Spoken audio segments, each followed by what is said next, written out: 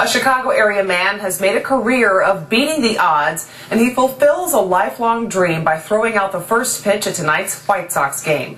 Sean Stephenson of Oak Brook has a brittle bone disorder. Doctors gave him little chance of surviving past birth, but Stephenson is now nearly 30 years old. Tonight he threw his big pitch the only way he's physically able to by lying on his back to throw. His pitch hit the target, and he says it was just like he imagined it to actually be able to take the mound and throw just a great pitch that I've been working on. It reminds me that anything's possible. Stephenson recently wrote a book and also works as a motivational speaker. Well, that's motivation indeed. Well done by him. All right, next up.